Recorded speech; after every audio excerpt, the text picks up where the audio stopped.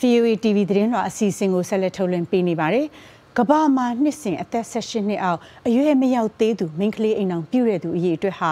12တန်းလောက်ရှိတယ်လို့ကုလသမဂ္ဂကပြောပါတယ်။ COVID-19 ကူးစက်ရောဂါကြီးမဖြစ်ခင်ကတော့အင်ဒိုနီးရှားမှာဒီအရေးအတွက်ဟာရောကျလာနေခဲ့တာပါ။ Eva Mazavia ရဲ့သတင်းလွှာကိုမအေးသက်နာကျော်ကပြောပြပေးပါမယ်ရှင်။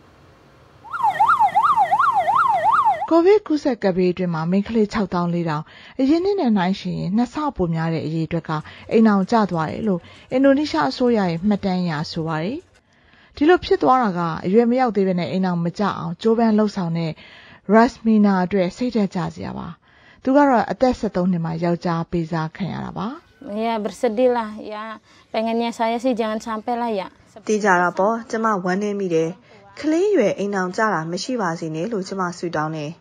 ဒီရွယ်မတိုင်ခင် ကိုယ့်သမီးတွေအိမ်အောင်ချခင်ရတာမျိုးမဖြစ်စေဖို့မိဘတွေကိုကျမပြောတယ်ငငယ်ရွယ်ရွယ်နဲ့အိမ်အောင်ကြခဲ့ရတာကိုကျမကလွဲပြီးတော့မကြုံစေချင်ဘူး Rasmina ကအင်ဒိုနီးရှားနိုင်ငံအနောက်ဂျာဗာပြည်နယ်မှာနေထိုင်တာဖြစ်ပါတယ်အရွယ်မြောက်သေးတဲ့ကလေးများအိမ်အောင်ပြုရတာအဆုံးသက်ရေးလှုပ်ဆောင်တဲ့အင်ဒိုနီးရှားပေါင်းစီအဖွဲ့ကသူနဲ့တခြားနှစ်ယောက်ကိုကယ်တင်ပေးခဲ့တာပါ။ အင်ဒိုနီးရှားမှာမိန်းကလေးရောယောက်ျားလေးပါအသက်19နှစ်မှတရားဝင်အိမ်အောင်ပြုခွင့်အနေဆုံးအသက်သတ်မှတ်ရေးနိုင်ငံရဲ့အမြင့်ဆုံးတရားရုံးကဥပဒေပြဋ္ဌာန်းပေးဖို့အဲ့ဒီဖွဲ့ကကြိုးပမ်းနေတာနှစ်တွေအများကြီးကြာပါပြီ2019မှာတရားရုံးကသူတို့တင်ထားတာကိုအတည်ပြုပေးလိုက်ပြီးတဲ့နောက်အောက်လွှတ်တော်ကဥပဒေကိုပြင်ဆင်ပေးခဲ့ပါတယ်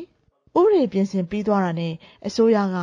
NGO အစိုးရမဟုတ်တဲ့အဖွဲ့အစည်းတွေအမျိုးသမီးတက်ကြွလှုပ်ရှားသူတွေပညာရှင်တွေနဲ့လက်တွဲပြီးတော့ဒီဥပဒေကိုစတင်ကျင့်သုံးနိုင်မှုလှုပ်ဆောင်ပါတယ် kan diterima waktu itu ဒီဥပဒေပြင်ဆင်ဖို့တရားရုံးကသဘောတူလိုက်တော့ကျမအယမ်းဝန်တာတယ်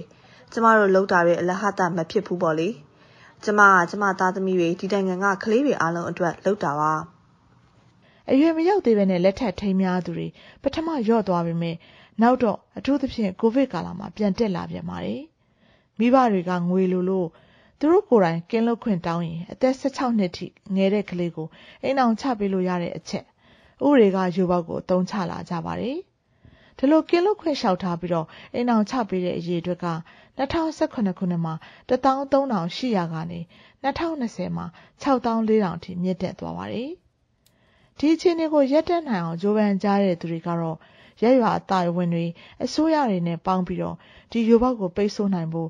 ဒီကိစ္စတားဆီးမှာအဓိကကြတယ်ဆိုတော့ကျေးရွာနေလူလူကိုဥရေရေးရာတင်တဲ့တွေပေးဖို့လှုံ့ဆော်ကြပါတယ်။အရွယ်မရောက်သူအိမ်အောင်ချပေးမှုတားဆီးဖို့အစီအစဉ်ကိုလည်းချဲ့ထွင်လှုံ့ဆော်နေကြပြီးတော့